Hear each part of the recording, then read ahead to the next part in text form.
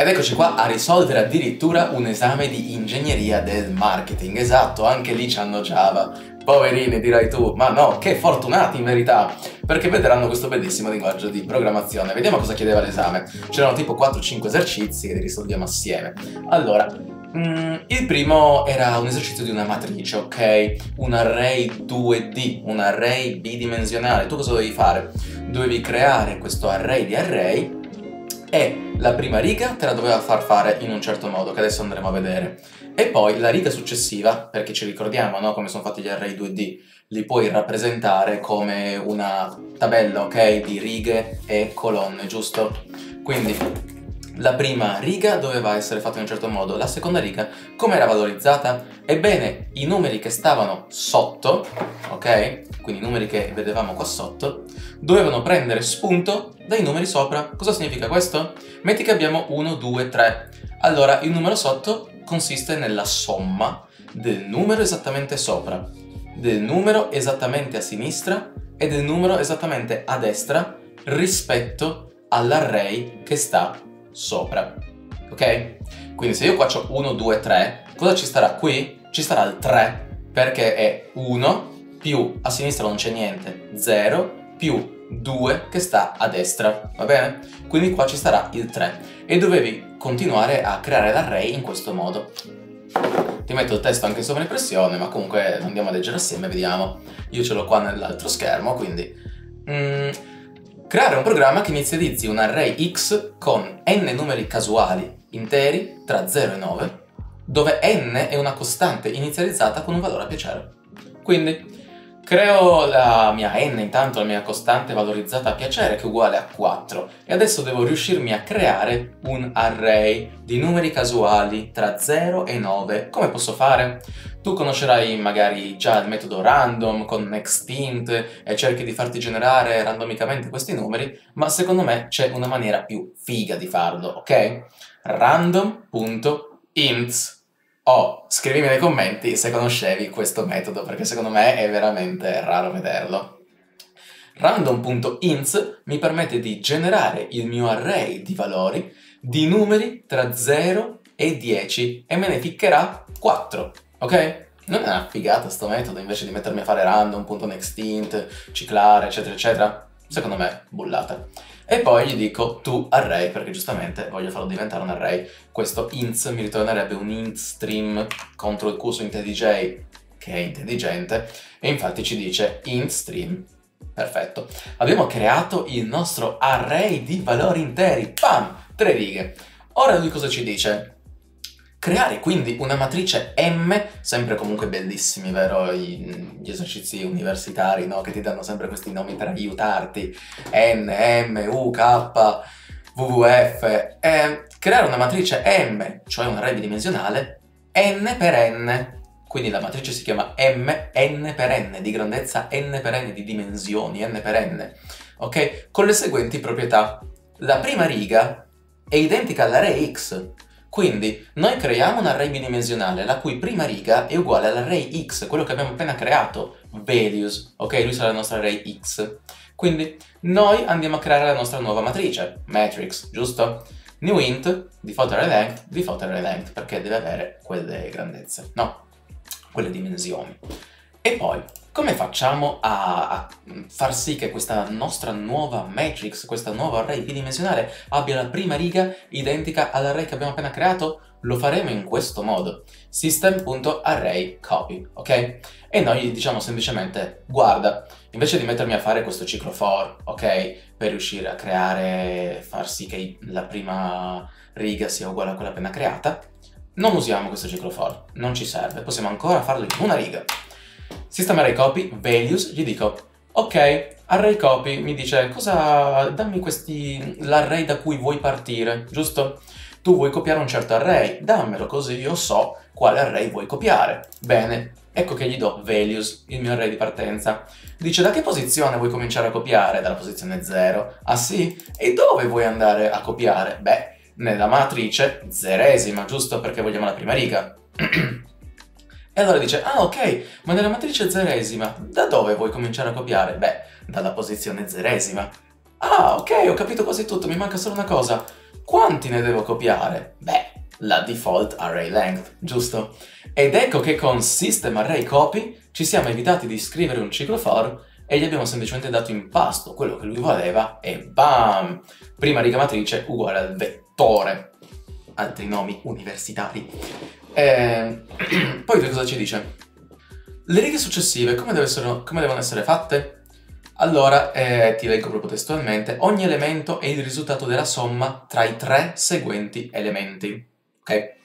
L'elemento che sta nella stessa colonna e riga precedente, l'elemento che sta sulla riga precedente e colonna precedente, l'elemento che sta sulla riga precedente e colonna successiva. E quello è un po' che ti stavo spiegando prima, non so, quello esattamente che sta sopra, quello che sta a sinistra, quello che sta a destra. Quindi andiamolo a fare. Allora, calcolo i valori per le righe successive, no? Qua, eh, per evitare di scrivere tanta logica interna, annestata, eccetera, eccetera, abbiamo utilizzato eh, altri metodini che andremo a richiamare e che faranno ciò di cui abbiamo bisogno. Noi intanto qui ci stiamo ciclando, va bene, sull'array più esterno e poi entro nell'array più interno e gli dico fill matrix questo è il metodo che conterrà la logica vera e propria, ovvero io adesso devo valorizzare le righe successive, giusto? Per ora abbiamo un array 2D che ha la prima riga uguale a quella che ci siamo creati all'inizio, ma mancano ancora le altre due, eh, che devono essere inizializzate a qualcosa, no? Hanno bisogno dei valori. Fill matrix ha bisogno di matrix, giustamente, la matrice devo andare a fillare, l'indice, quello esterno, esterno, esterno, e l'indice del ciclo interno, che corrisponderà a tutti i numeretti, va bene? in questo caso sono 4, no? Perché default array length ci siamo detti che è 4. Quindi andiamo a vedere cosa fa fill matrix. Fill matrix funziona in questo modo e qua ti ho messo anche un'altra alternativa, FVE, FVE, che magari se vuoi possiamo rinominare in cane, visto che cane è immancabile nei tutorial di Code Brothers. Fill matrix cosa fa? Beh, eh, si prende la nostra array bidimensionale, i e j, e allora io qua ti ho utilizzato un po' di nomi per farti capire esattamente cosa sta succedendo.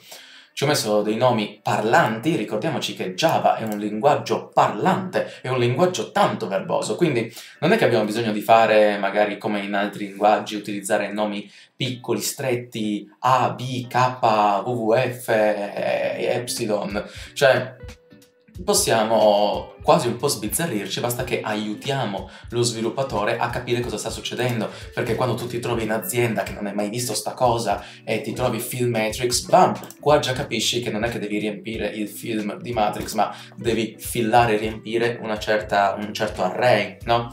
una certa matrice, meglio. E poi qua entri cosa vedi? Row, above current, above to current, array, bound. Vedi già dei nomi parlanti che ti fanno capire il contesto subito senza che ti metti a pensare cosa fa sta logica, cosa fa questo AIU e, e scleri. Quindi abituiamoci anche a questo e soprattutto a mettere il final che io purtroppo non sto sviluppando in Java da mesi e mi sto quasi dimenticando, ma ogni volta che non mettiamo il final un gattino muore.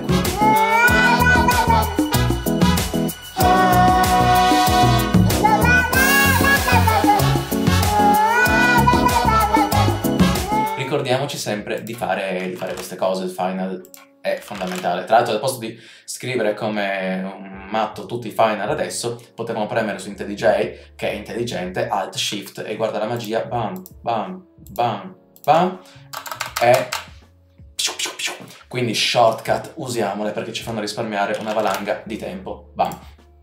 Ora, cosa significa row above current? Beh, è la riga sopra la riga corrente. Row above current. E cos'è? Matrix I-1, perché I è proprio l'indice no, da cui siamo partiti e tra l'altro se hai notato l'indice era 1 perché noi saltiamo la prima riga, perché la prima riga è già quella che abbiamo copiato precedentemente, noi vogliamo fillare quelle dopo. No. Quindi eh, matrix eh, I-1 è la riga sopra quella in cui ci troviamo adesso, above to current è esattamente il numero sopra il numero in cui mi trovo, sempre visualizzandoci questo, questa tabella, no? Come quando qui avevamo 1, 2, 3, io adesso mi trovo qua, above to current, esattamente quello sopra, ok? Above to current, array bound, perché hai presente index out of bounds exception? Ecco qua ho dato un altro nome parlante, array bound, ovvero dove non posso più andare oltre, ok? Il limite. Quindi, array bound, matrix.length meno 1, perché ci ricordiamo che gli array partono da 0 a contare tutta quella storia là. Siamo a un esame universitario, queste cose spero che non serva a ripeterle, no? Quindi, left to current, comincio a calcolare lui e dico, ma j è maggiore di 0, ovvero sono da qualche parte oltre il primo numero, quindi questo è 0, sono almeno qui, qui, qui o non alla fine perché gli dice eh, j dopo minore di array bound, ok? Eh, almeno mi sembrava. Comunque, j è maggiore di 0? Se sì, allora row above current, altrimenti 0. Poi, right to current, ovvero quello a destra, j è minore di array bound, quindi sono arrivato prima dell'ultimo numero, ok? Ed ecco che se sì, row above current j più 1, perché mi vado a prendere quello di destra, altrimenti andrei fuori, no? Sarebbe un out of bounds exception. Altrimenti 0. E alla fine, ecco che li sommo tutti e tre, come mi ha chiesto il testo, per valorizzare il numero sotto. Ora, perché ti ho dato l'altra soluzione cane? Perché quando noi utilizziamo in Java un ternario e, e la, l'altra opzione è inutile, non la utilizziamo, capisci che stiamo un po' mh, mm, quasi citando, cioè stiamo utilizzando gli strumenti di Java, i ternari, mh, mm, un po' perché ci, ci, è utile in quel caso, no? In verità questo zero non ci serve proprio a una mazza, cioè zero, cioè, mica ti serve sommare zero. E quindi ecco qua eh, cane, che è immancabile, e quindi facciamo praticamente la stessa identica cosa, è un po' più difficile da leggere, ma sarebbe anche la cosa un po' più corretta se volessimo.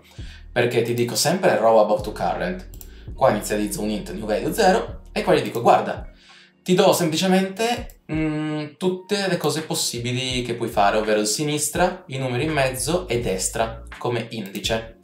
Mi vedo se stai andando out of bounds, ok? Quindi se l'indice è minore di 0 o l'indice è maggiore o uguale a matrix.length e comincio poi a calcolarmi i valori ok? E poi li riassegno. Quindi sto facendo la stessa identica cosa, ma scritta eh, in, un modo, in un modo diverso. Tra l'altro non l'ho testato perché l'ho scritto giusto per, ma boolean is out of bounds se non è out of bounds. E quindi ora dovrebbe funzionare. Magari lo andiamo anche a testare con... Sostituiamolo a dov'è che veniva utilizzato? A qui, cane, andiamo adesso a far partire la nostra applicazione. Ta ta ta ta Bene, cosa stiamo scoprendo? Che inizialmente avevamo 4, 9, 1, 6. Sì, avevo fatto un typo, giusto quella, quella cosa del, del, punto esclamativo che mancava. Ehm, 13 perché 13? Perché sto cercando di sommare quello che c'è a sinistra con quello sopra e quello di destra. A sinistra non ho niente, 9 più 4, cane funziona. 14 perché? Perché 9 più 1 più 4, bam, funziona. Cosa è sto 16? 9 più 1 più 6 funziona. Insomma, direi che la nostra applicazione sta funzionando. Vediamolo anche con il metodo originale fillMetrics, che era quello proprio fondatore. Ta-da-dan! 8863 16 22 17 9 è giusto? Certo che è giusto perché vediamo subito che 88 16 22 88 6 giusto? Quindi questa è la soluzione eh, per questo esercizio di esame. Tra l'altro piccola chicca ci ricordiamo di sta cosa? Lo faccio ripartire. Sono riuscito a formattare in modo figo, ok, pro, per fare bella figura anche all'esame, i numeri che voglio stampare dalla mia matrice. L'avevo già mostrato in una lezione, quella di allenamento sui bitwise operators. In questo modo io sto dicendo che ogni numerello che stampo voglio che occupi 4 punti, va bene? Quindi ecco che mi spunta tutto questo bellissimo quadrato indentato in modo carino e coccoloso. Oh, se ti stanno piacendo questi tutorial, se stai imparando qualcosa e ci vuoi aiutare, almeno un like un'iscrizione, un commento, una qualunque cosa, magari anche dirlo agli amici, ci farebbe tantissimo piacere. Ok, almeno ci fai capire che il lavoro che stiamo portando sul canale è, è utile, insomma, e piace. Vediamo l'altro esercizio. L'altro esercizio era una media, average, ok? Quindi noi dobbiamo semplicemente fare una media. Tu ci scrivi dei caratteri, ma vediamo proprio il testo dell'esercizio. Crea un programma che lega una serie di valori numerici da tastiera, non necessariamente interi. L'inserimento termina quando viene inserito il valore 0. Il programma dovrà calcolare e stampare la media dei quadrati di tutti i numeri inseriti. Ok? Quindi noi stiamo inserendo dei numeri e lui ci deve calcolare la media di tutti i numeri inseriti. Come fa? Beh, allora, questo non penso che serva a spiegarlo. Abbiamo lo scanner, il nostro amico sempre scanner che prende degli input, ok? While, qua gli sto dicendo, finché il valore che tu inserisci è diverso da 0, allora continua a farlo. Cioè, finché è diverso da 0, allora puoi continuare, no? È la condizione che ci ha proprio detto lui. Sum math.pow value 2. Ok, qua stiamo utilizzando quindi il metodo pow della classe math per fare l'elevazione a potenza. E poi perché divider? Perché ogni volta che io entro qua dentro voglio tenermi conto di quanto diventa grande il divisore, di quante volte ho aggiunto dei numeri, di quante cose, insomma, per quante cose dovrò dividere la, la somma finale, no? E quindi divider più più. Ed ecco qua che la media dei valori è sum slash divider. Ma voglio anche farti vedere una cosa ancora più figa. math.pow Tu dici, ma non basta fare value per value. Ok?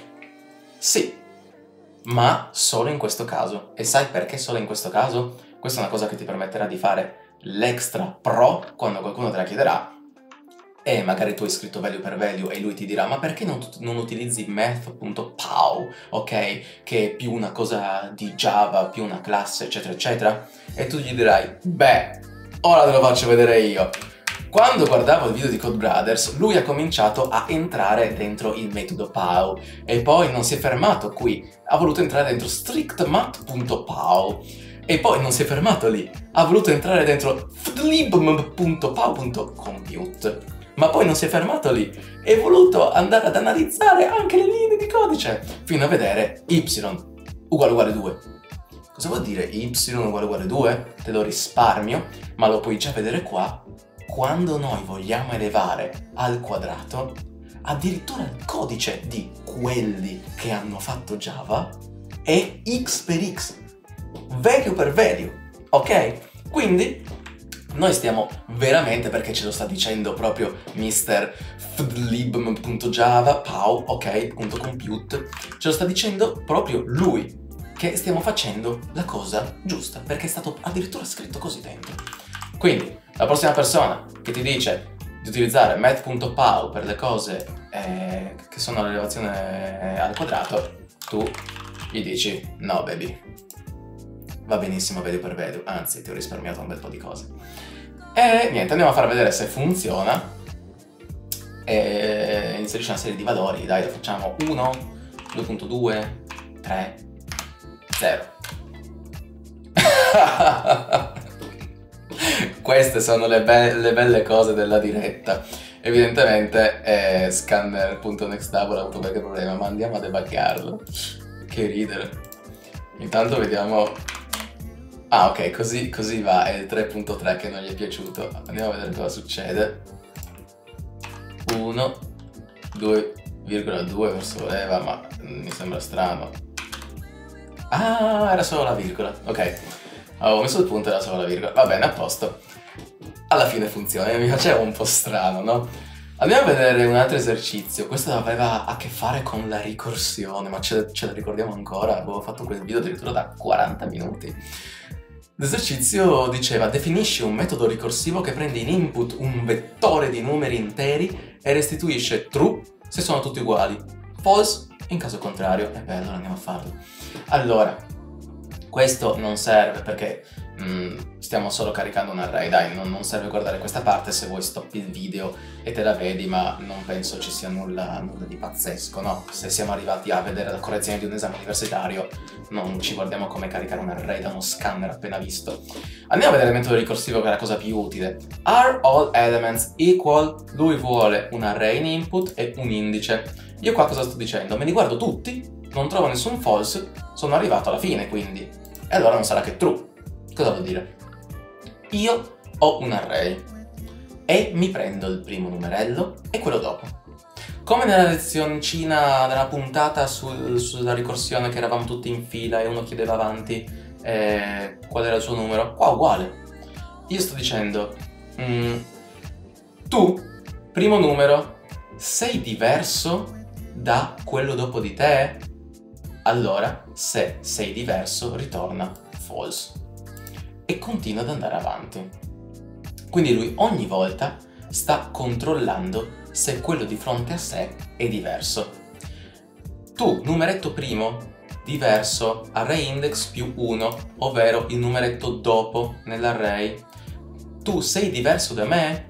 Io sto dicendo quello davanti a me. Ciao, sei un mio clone? Quindi, eh, se non entro qua dentro, vuol dire che è un mio clone. No, perché non è andata questa condizione. Ok? Questo non era mai vero, non sono mai entrato nell'if. Quindi sto continuando a chiedere a 2 a 2, perché vedi che qua poi mi passo index più 1, non mi sto più passando l'indice iniziale, mi sto passando l'index ogni volta più 1 e sto richiamando me stesso, ok? Sto mettendo tanti stack frames uno sopra l'altro, ce lo ricordiamo nel mio stack? Sì. Quindi ogni volta passo un indice successivo e quando arrivo alla fine, index uguale a relength meno 1, l'abbiamo visto anche prima, questo è l'upper bound, no? Del mio array. Quindi quando arrivo alla fine, eh, se sono arrivato alla fine non può che essere true.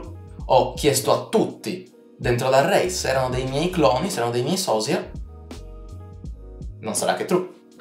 Bene, quindi ecco che hai risolto così l'esercizio della ricorsione. Qua infatti ho il mio main, lo faccio partire, inserisce il valore per la posizione 1, 1, 2, 3, 4, 5, i valori non sono tutti uguali. Lo faccio ripartire 1, 1, 1, 1, 1. I valori sono tutti uguali. Quindi, ancora una volta ti chiedo se ti stanno piacendo questo tipo di esercizi, almeno un'iscrizione che a te non costa niente, forse una caloria, cliccare in basso iscriviti o un like, a noi invece farebbe un sacco di differenza perché dobbiamo anche combattere contro l'algoritmo di YouTube per insomma esistere proprio, dato che ci piace fare questa cosa, vorremmo almeno esistere e poterla fare, no? Vediamo anche un altro esercizio, gestore smartphone. Cos'è il gestore smartphone? Mm. Definire opportunamente in Java la seguente situazione. Uno smartphone è caratterizzato da un identificativo del modello, un prezzo, una marca, che può assumere esclusivamente i valori ok? Apple, Samsung, Oppo, Huawei. Ora, se sono esclusivi, questa è una parola chiave che ci sta aiutando nel nostro esame, il prof ci sta dicendo, uè, devi utilizzare un enumeratore. Ok? Abbiamo visto la puntata sugli enumeratori, quindi creiamone uno per questi modelli. Tutte le proprietà sono necessarie per descrivere uno smartphone e immutabili pure, quindi un bel final non ce lo toglie nessuno, no? E poi queste cioè più che final, questo è un denumeratore, no? Perché sono immutabili, no? E, tra l'altro, anzi forse era anche final, scusami, perché tutte le proprietà, ah ok, tutte le proprietà sono final, no? Perché quando tu metti il tuo field final, dopo non hai più il set, giusto? Quindi è immutabile, no? Nel senso, se tu metti, adesso andiamo a vedere il tuo smartphone che la marca, il, il prezzo è final, non avrai il getter, giusto? Non, non lo puoi generare perché è final, no? Ehm, basta. Scrivere il codice di una classe gestore smartphone che espone un metodo che prende in input un vettore di smartphone e stampa a video il numero di smartphone per ogni marca. Questa è la parte un po' più interessante, ok? Noi dobbiamo riuscire a stampare quindi quanti di quei modelli abbiamo e dall'altra parte quanti sono, ok? Che tipo di modello e quanti sono. Tipo, numero. Quindi andiamo a farlo. Mm, questo era un commento che avevo scritto perché lo stavo correggendo assieme a un carissimo studente che saluto, Lorenzo. Spero che l'esame ti sia andato benone. E ehm, vediamo qua come fare. Collections.ncopies, va bene? Quindi invece di andarmi a creare una lista in altri modi con il for eccetera eccetera, eh, ho voluto creare una collection, quindi una lista di elementi tutti uguali in questo modo. Ho creato 5 smartphone di questa marca Huawei, vediamo qua che abbiamo l'enumeratore, direi niente di strano. Vediamo poi il nostro smartphone che avrà, ehi, che avrà i suoi bellissimi field final e infatti se io ci faccio alt ins, vedi che mi dice solo getter, non ho i setter, quindi non posso mai più cambiarli, giusto? Quindi ho solo modello, price, marca, va bene? E poi qua ho il mio metodino print smartphones, va bene? eh, che mi stamperà quindi tutti i miei smartphones. Magari questo... Ah, pipi, oh no! No! Volevo solo mettere una P piccola, ok. E poi qua eh, print smartphones cosa desidera? Desidera un array di smartphones e quindi gliel'ho dato in pasto in questo modo. Ho preso la lista precedente, ho detto to array, to array vediamo che vuole un t array e quindi gliel'ho sparato dentro. Ora qua come abbiamo fatto?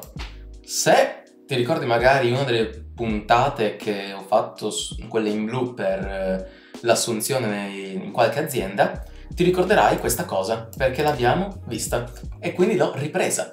Quindi come facciamo a creare una mappa che associ a ogni modello di smartphone quanti ce ne sono senza usare gli streams, come avevo fatto anche in quell'altra puntata, in questo modo. Io dico guarda intanto mi serve uno zero dove partire e adesso vi faccio vedere perché. Mi creo una, una smartphones and quantity map, va bene? Una mappa che associa quindi smartphones and quantity, la quantità.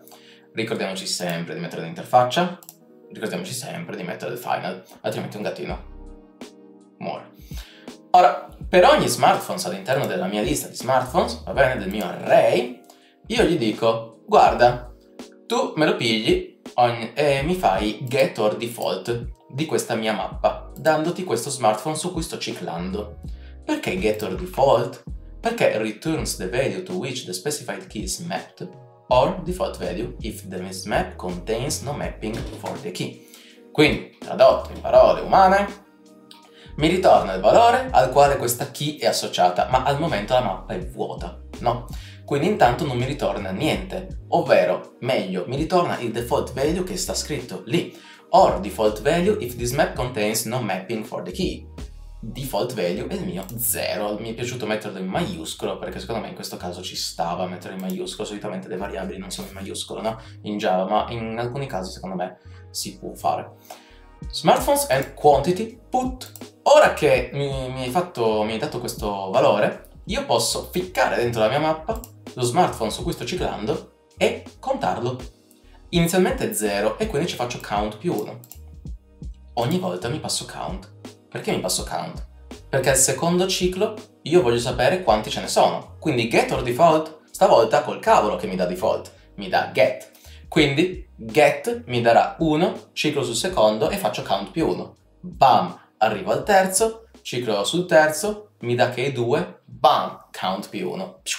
Quindi faccio partire adesso e vedi alla fine solo che mi faccio dare l'entry set e per ogni entry set lo stampo. Questa è una method reference se non te le ricordi, dato che non le abbiamo ancora trattate sul canale, è come se io prendessi ogni entry e mi stampassi con le lambda, ok? Ogni entry è la stessa scrittura. Però IntelliJ stesso poi mi dice ma basta dai non farà lambda, falla con un method reference, dico va bene, falla con una... e quindi faccio partire. Qua troveremo che smartphone, modello, tab, uguale 5. Quindi effettivamente lui ci ha associato ogni smartphone a quanti numeri di quello smartphone stavano in quella mappa. Altro esercizio risolto. Ne manca ancora uno se non sbaglio. Ovvero lo vado a leggere qua. Ah no, li abbiamo fatti tutti e quattro. Ok, abbiamo finito tutti e quattro gli esercizi del compito inaspettatamente. Ce n'era un ultimo, se non sbaglio, ma che non era niente di che, ovvero c'era una classe studente e tu dovevi solo stampare ehm, lo studente Giacomo deve sostenere tre esami, tu praticamente mettevi, creavi un esame, avevi i suoi feed eh, da esame, questa è una cosa in più che comunque ti mostro tanto per, ma non sarebbe nello scope della lezione. Show student details è solo un metodo che mi mostra come stampare i dati dello studente. Qua ho lasciato, mm, come vedi, tante cose un po' strane in questa lezione perché ehm, era fatta a metà con l'altro studente Lorenzo con cui mi sentivo, che saluto, e quindi l'ho lasciata in parte così. Però mh, mm, questa penso è la parte più difficile. Mm, magari se ti serve il codice di questo particolare esercizio esame te lo lascio in description o magari me lo chiedi o magari entri nel gruppo Discord e te lo passo là. Quindi, as usual, questo è quanto. Ci abbiamo messo un po' a far uscire anche quest'altra lezione, ma è perché mi sto concentrando un sacco su Angular, così diventeremo anche degli sviluppatori angolari in un futuro molto prossimo. Eh, se hai qualche domanda, me la scrivi qua sotto. Se hai qualche testo di esame che vorresti correggere, ne possiamo parlare, mi contatti in privato o ti unisci al gruppo Discord e mi contatti in privato lì. E come sempre, io e il mio altro code brother fondatore, che come sempre è qui invisibile, ma è sempre presente dietro le quinte, ti auguriamo il meglio nella vita e soprattutto nel coding, perché il coding è la vita. alla prossima pues, puntata. Ciao.